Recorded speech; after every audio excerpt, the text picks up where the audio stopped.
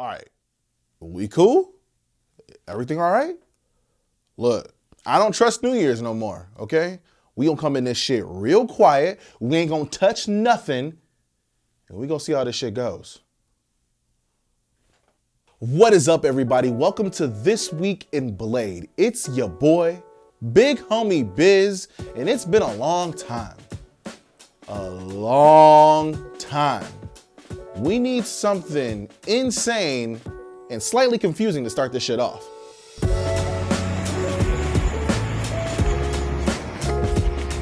Yep, that'll do it. We're talking blading here every single week. That was untrue for the last month, but that's just because 2020 is a cruel mistress. If you're new to this series, consider subscribing and following. Also like this video and share it with the homies because blading is for everyone, truly. Before we start this off, I personally want to say thank you to everyone who showed love and caring when my mom passed. I mean, this shit has been crazy. We're still picking up the pieces, but honestly, I, this is, I haven't felt this good in a month, so I really appreciate y'all. But some of y'all do not care though. Just wondering when Twib come back in hopes that I'll talk about your four minutes stepping onto a play rail edit.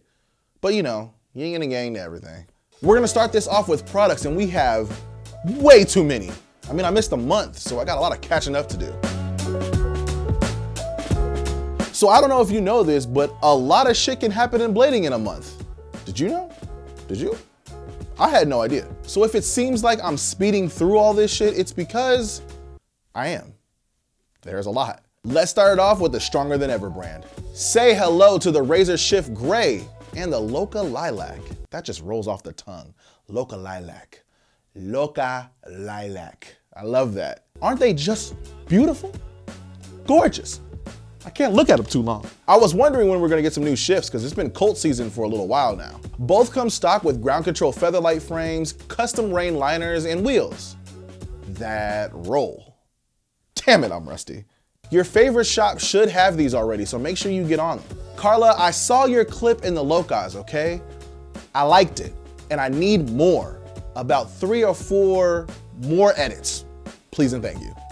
Ground control. AKA Razor's Frames has some new colorways to their aluminum tri-frame for 2021.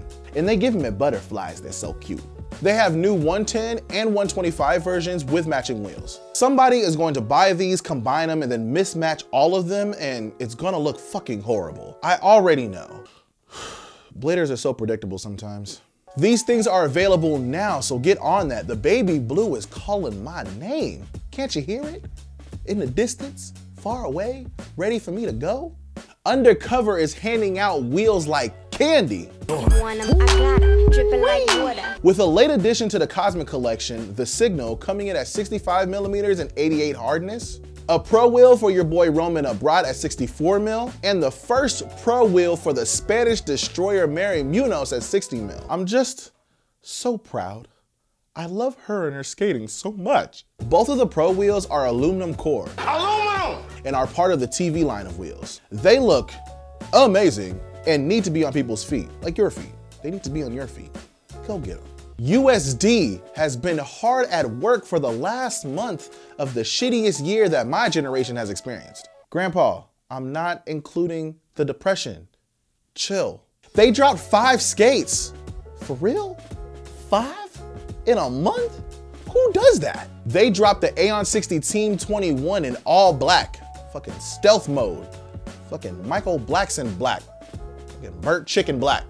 They dropped the new Pro Aeon for your boy Sam Crofts in Bompton color. That shit threw up the set on me and everything. A new Pro Sway boot for Montre the GOAT Livingston, the third of its kind. Denying that Montre is a GOAT is like saying Tampico isn't delicious. You can't do it.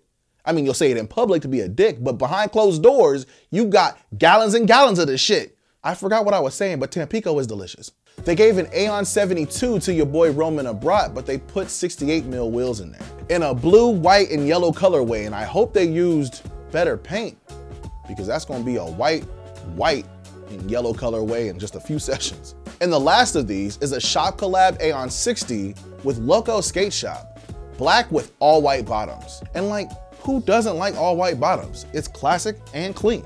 Also, side note, how does Loco keep getting these collabs for real? They just had the Rosie's one. I'm pretty sure they're knocking on Julio's door right now like, hey, John, we need a skate. All of these delicious colorways are available now. Make sure you get that. I don't know if you thought we were done, but we are not. Them Skates gave us two new skates last month. Two.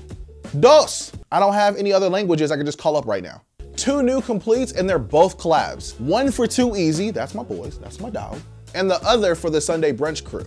Both black 909s. The Too Easy skates come with black frames and yellow highlighter wheels that just fucking pop and an eight ball on the cuff. The brunch setup comes with white them frames and white wheels with a beautiful design on them as well.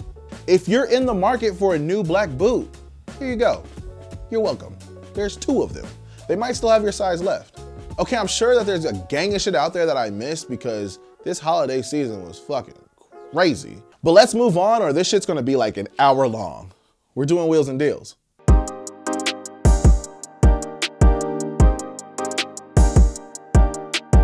This one is old, but we're doing it anyway. The unsignable Chynna Weierstall is now writing for Rollerbender with a pro clothing line coming soon. I want a pro clothing line. Can you imagine? Pro drip? I've said this a million times before. Chynna can literally just take whatever sponsor she wants. And she knows that. I just think she prefers the freedom, which makes sense. I don't even ride for Moonshine, but I'm not riding anything else. Biz for Moonshine 2021.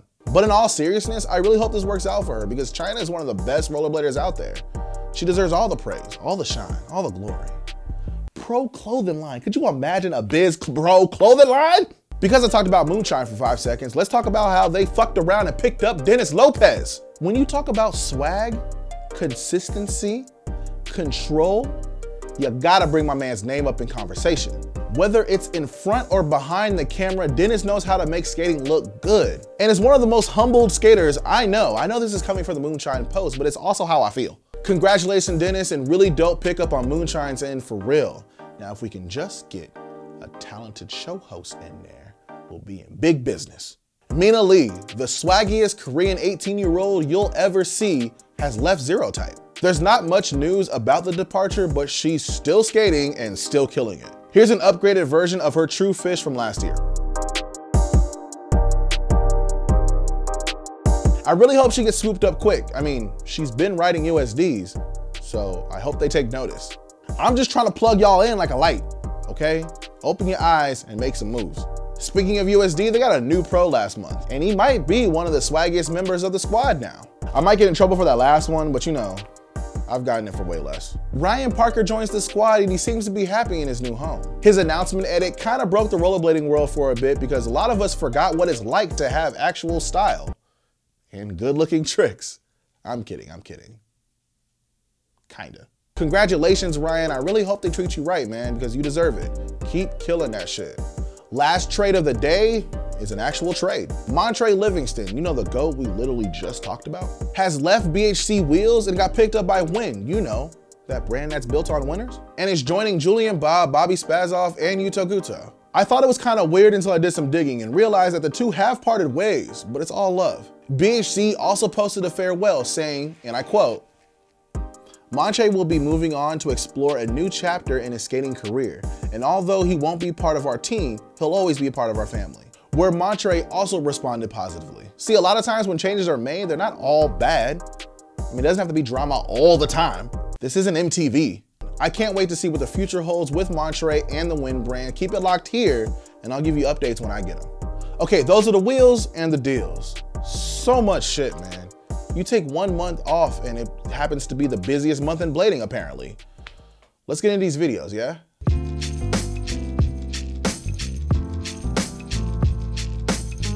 We're gonna talk about my homies first because fuck you, this is my show. The LTE boys finally put out an hour long video for free called Up to No Good. And that shit right there, fuego. You're gonna be on the edge of your seat the entire time, feeling like you're watching some shit you're not supposed to be watching. The theme of the video is someone's leaking all the parts, so the host is really up to no good. Yeah, full parts from J. Lord Santos, Dennis Lopez, Sam and Josh Jeter, Joey Lunger, Jeremy Soderberg, and so much more. I even share a section with Juan Martinez and Kay Luz. and you really need to watch them, okay? I just set the shit off. I don't know if you noticed this, but all three of us, for at least one trick, is riding the same skates. Did we plan it? Maybe. It's seriously a good watch from music selection to the skating. Make sure you check that out.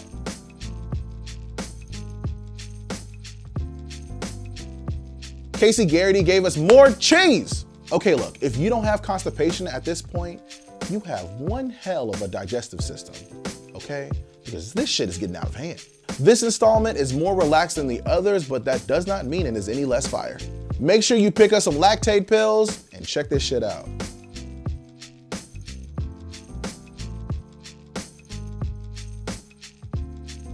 Lake Effect is a Chicago and Rockford, Illinois blade flick put together by Yanjo Silverio and the boys. And it's definitely something you need to put on your watch list ASAP. Everybody did their thing, but bruh, Matt Luda, man is on a whole nother plane.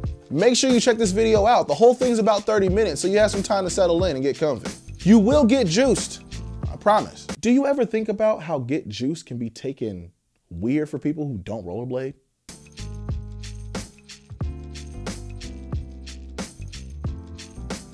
Okay, so we know that the Too Easy Them Skates collab exists and it's amazing. But to make shit better, they gave a pair to Ali Prado and that boy went to work. There wasn't a single stare unbashed. This was basically a stare bashing edit. And all of them fakey, I might add. Fakey means backwards. There's a lot of newbies here. It's short and sweet and the heel bomb at the end seals the deal. You remember when Dre Powell fakey threed into a stare bash? Prado is the next to wear that crown. Make sure you check this out and check the skates out. They go hand in hand. Zach Savage put out his 2020 profile for gods and ghetto community and let the world know he is not playing around. For real. You don't know how much work a person has put in until you see them all back to back to back to back like this. It's astounding. Make sure you check this one out.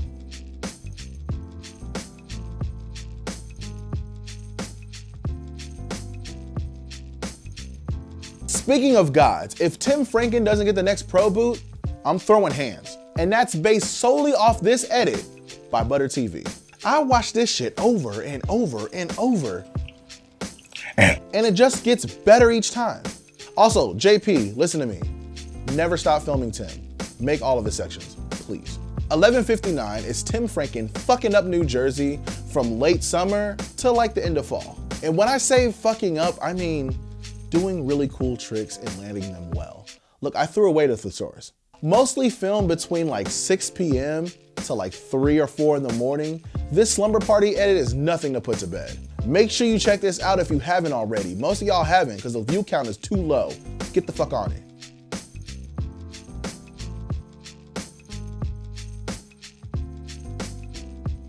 Last thing here, Eugen has 10 year. He's stuck on USD. He can't go nowhere else and he can't be fired. Eugen has had his 10 year anniversary with the Universal Skate Design brand and put out an edit with a bunch of his clips from over the years. Look at baby Eugen. It's so cute. I just want to tie his skate laces and send him on his way. It's crazy to see his progression though, from who he was then to the GOAT that he is now. And that hair, Make sure you check this out. It's really fun to watch. There are so many amazing projects that happened in the past month that I can't really get to. Make sure you head to bladerunion.com to check all of them out. They have everything. And I mean everything. Okay, that's gonna do it for videos. Let's do that thing that we all used to do. And I guess we might be able to do soon, as soon as this vaccine comes out, people start tripping and we get it going. Let's get social. It's a new year. We're not getting excited, but we do have to start this shit off right. And that means someone's gotta do it for the TWIB. Danielle McCloskey has been on everyone's radar for a while now, and if you don't know, you better ask somebody. She's been killing it in the UK, and she's only getting stronger like Thanos every time he collects an Infinity Stone. I hit her up to do it for the TWIB, and she delivered. Very much so.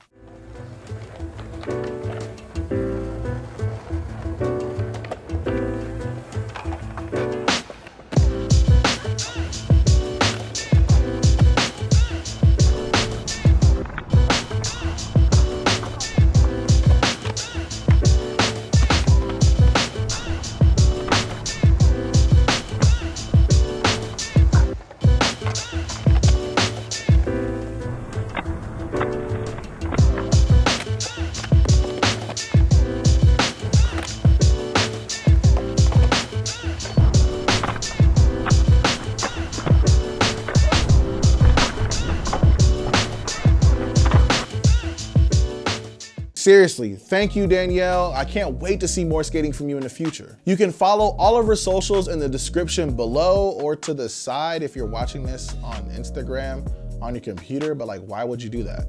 Okay, I have something very important to say to you about this next edit, okay? Are you ready? It's some big shit. All right, here we go. Tony Woodlands does own shirts. I was just as surprised as you are right now. I thought he only buys pants. Tony put out a farewell 2020 edit that put so many of yours to shame. I'm not kidding. Tony has honestly been putting in so much work last year and I hope it never stops. Watching talented skaters of color really sparks the next wave to get into it. I mean, that fool inspires me and indirectly makes me feel fat. But anyways, make sure you check this out and get juiced. He's seriously one of my favorite skaters right now.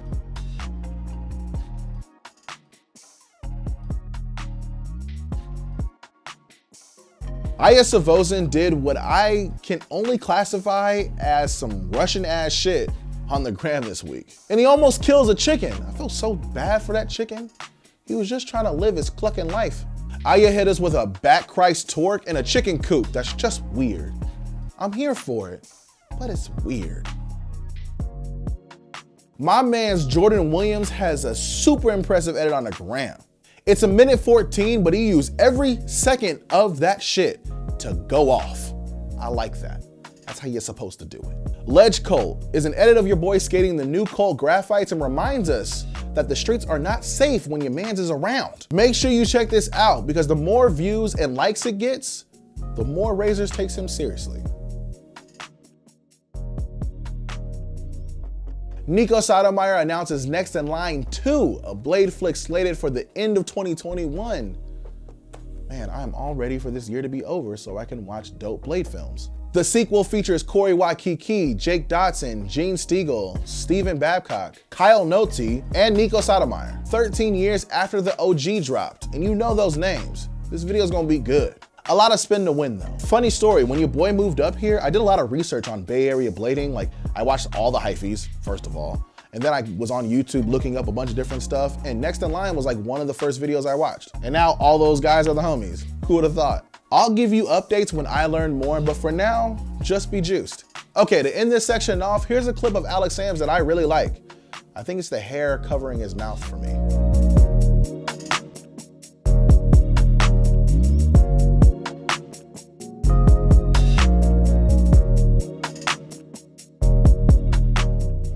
Okay, I think that's gonna do it for the first episode of This Week in Blade in 2021. Make sure you like this video and comment your favorite news below. As always, make sure you're following BladerUnion.com to keep up to date with everything happening in the blading world. They also have a Patreon, so if you want to support them or this show directly, like your boy Big Homie Biz, hit that link in the description. Also, make sure you're following my link tree to get all the TWIB updates, skating, and a bunch of other crap. It works just as well as the Patreon, if not more, because it gives me clout, and I need it right now. For this week's Ender, here's an illegal fast slide. They said no running around the pool, but they did not say anything about grinding.